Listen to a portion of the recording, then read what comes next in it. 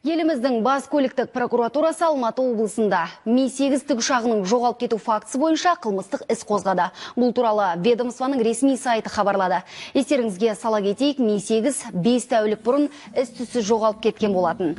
Содан бері оны іздестіру шаралары жүріп жатыр. Еуроазия Air акционерлік қоғамның жезқазған бөлімшесіне қарасты тікұшағы қарашаның 24 күні таңертең Атасу Алашаңқай мұнай құбырын әуеден бақылау үшін Алакөл ауданынан аспанға көтерілді. Содан көп ұзамай байланыс үзілген. Бортта экипажбен қоса алғанда 8 адам болған.